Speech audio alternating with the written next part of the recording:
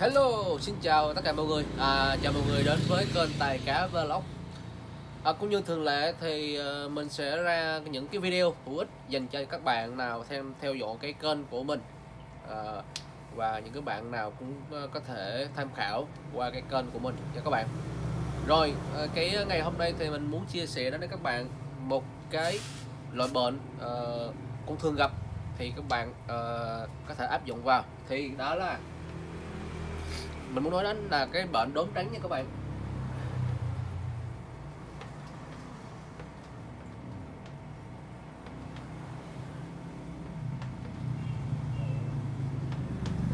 Đốm trắng à, à thì cái bệnh đốm trắng này nó cũng thường gặp ở trên cá khi mà các bạn đang nuôi các bạn. Rồi đầu tiên thì à, mình sẽ à, muốn à, nói đến các bạn đó là những cái nguyên nhân mắc bệnh.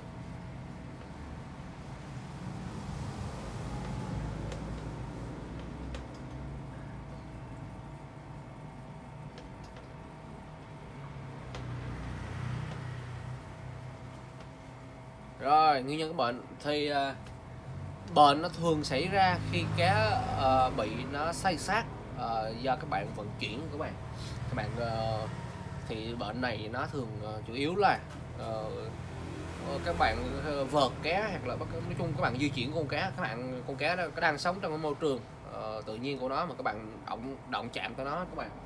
Thì yếu tố đầu tiên thì uh, mình muốn nói với các bạn đó là cái uh, mình uh, mình nói cái một cái ờ, sơ bộ là do các bạn vận chuyển các bạn dễ hiểu hơn nha các bạn.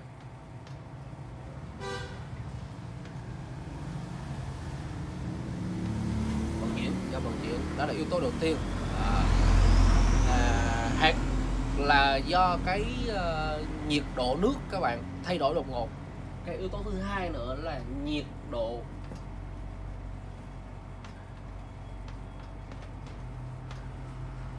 Độ nước thay đổi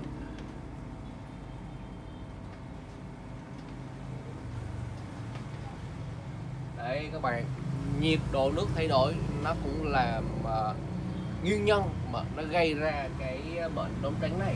Thì các bạn cũng thể lưu ý hai cái vấn đề như trên mình đã trình bày các bạn.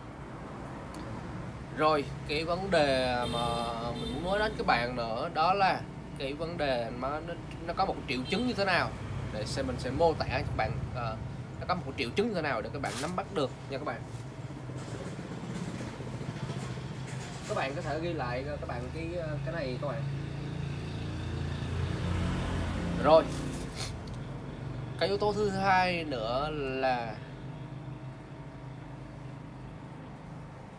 cái triệu chứng.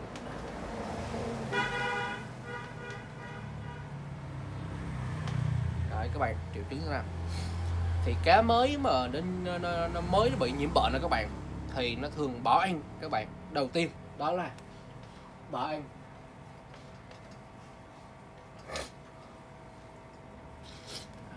Đó các bạn bỏ ăn nha các bạn. Và các bạn chú ý thêm nữa là cái góc vây lưng nó xuất hiện một số đốm trắng các bạn. Cái góc cái góc cái góc uh, trong cái cạnh ờ, uh, sắc cái thân mình ở các bạn. Nó xuất hiện uh, khi mà con cá của bạn có cái vây mình ví dụ các bạn xem. Khi con cá dày nó có một cái vây dày các bạn. Thì cái góc ở những góc này là các bạn nó xuất hiện. Ờ đốm trắng. Đấy. Thì góc vây xuất hiện đốm trắng.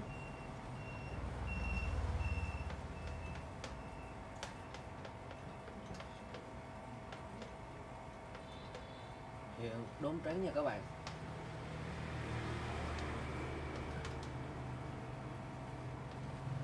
Đốm trắng đấy là cái yếu tố thứ hai mình muốn chia sẻ đến các bạn. Góc quay nó bị đốm trắng à đó. Rồi nó dần dần nó nó, nó lan xuống cái đuôi rồi đến cái toàn thân của nó nha các bạn.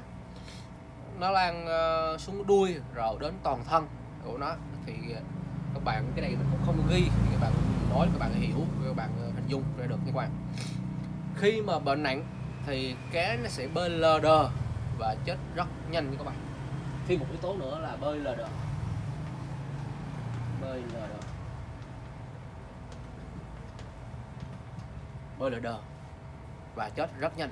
À, các bạn à, thì cái này đấy là cái hai cái một cái nguyên nhân để mình uh, nói lên các cái mối quan hệ đến cái nó gây bệnh lông trắng này thì cái triệu chứng và nguyên nhân nguyên nhân mắc bệnh ờ, uh, và triệu chứng như thế nào các bạn?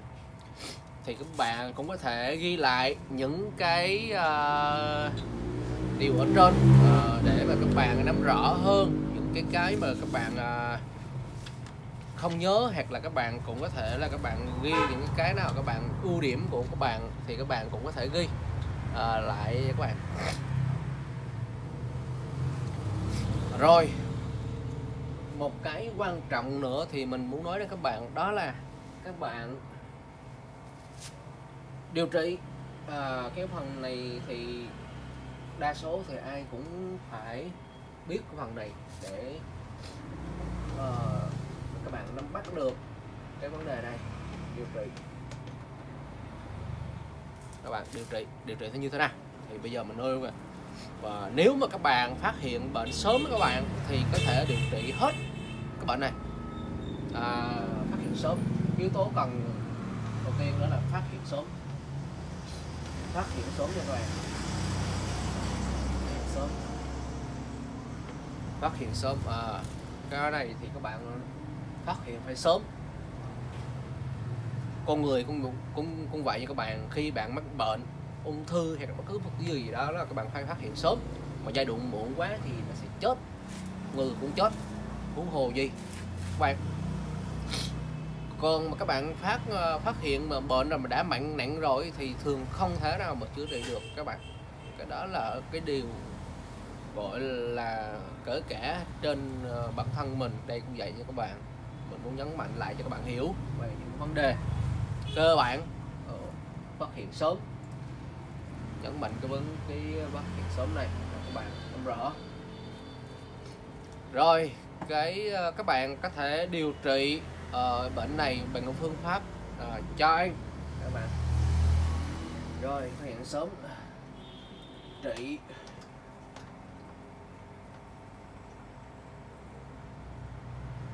bằng cách cho anh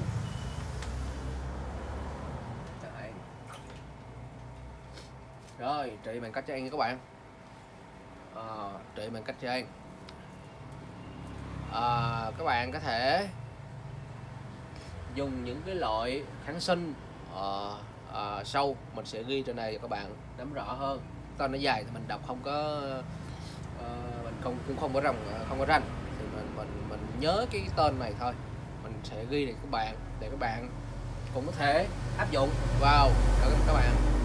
Uh, quý vị đó là uh, uh, sofa uh, Jimmy Jin.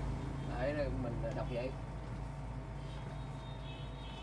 Sofa sofa uh, Z Z Z Z đấy đường họ xấu các bạn có thể search trên mạng đang và và và các bạn cũng có thể ờ, uh, sạch trên mạng. Với cái liều lượng là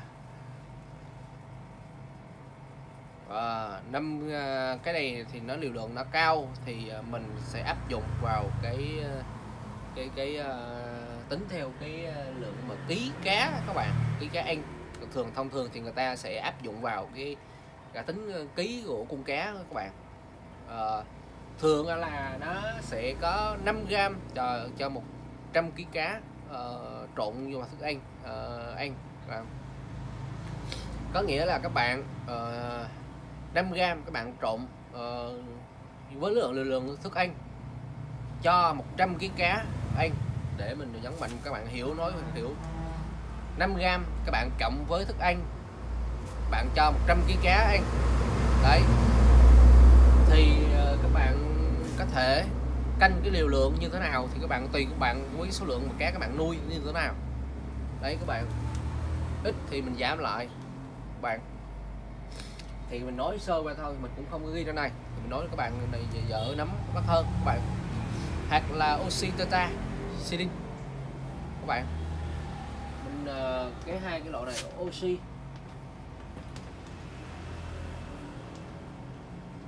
Uh, tetracycline tetra.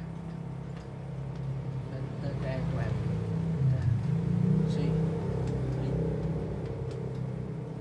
tetracycline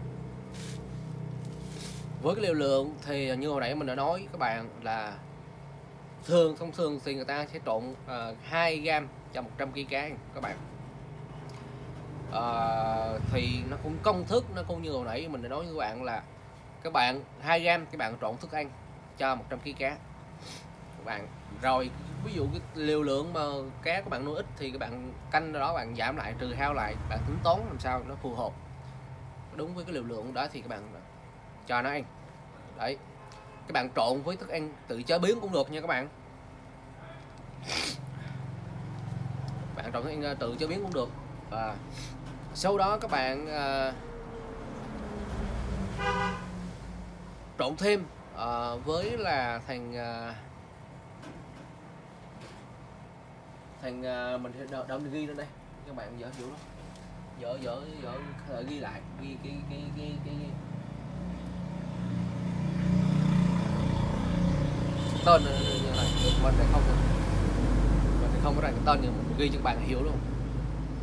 À, super pha gọi là đấy các bạn. Super pha super pha à, tên ở đây. Đấy các bạn. Rồi. Các bạn à, có thể là cho liều lượng là 250g uh, ờ, trên ký thức ăn. Cây này khác nha các bạn. Nó khác cái dưới cái câu chuyện hồi nãy là mình đã nói với các bạn là các bạn 5g các bạn cộng thức ăn cho 100 kg cá. Còn cái này á, nó khác với cái hồi nãy là sao? Cái này á, là 2 250 g các bạn trên 1 kg trên 100 kg thức ăn. 100 kg kg thức ăn.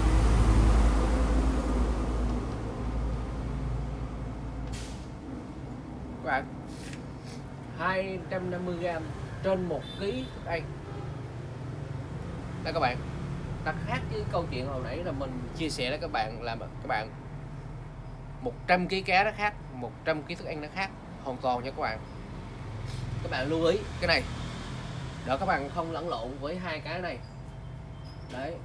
Các bạn ờ, với cái liều lượng các bạn cho ăn để mà nó mau hồi phục cá chứ mà các bạn trộn nó sai cái liều lượng thì tất nhiên con cá các bạn nó không có bớt, mà nó sẽ bị chết rất là nhanh. Nha các bạn. Thì trong cái bài ngày hôm nay mình muốn chia sẻ đến các bạn đó là cái bệnh đốm trắng để giúp các bạn hiểu về cái bệnh này, dấu hiệu cũng như là cách điều trị như thế nào. Rồi, mình xin ờ, kết video tại đây. Hẹn gặp lại các bạn những clip lần sau. Xin chào.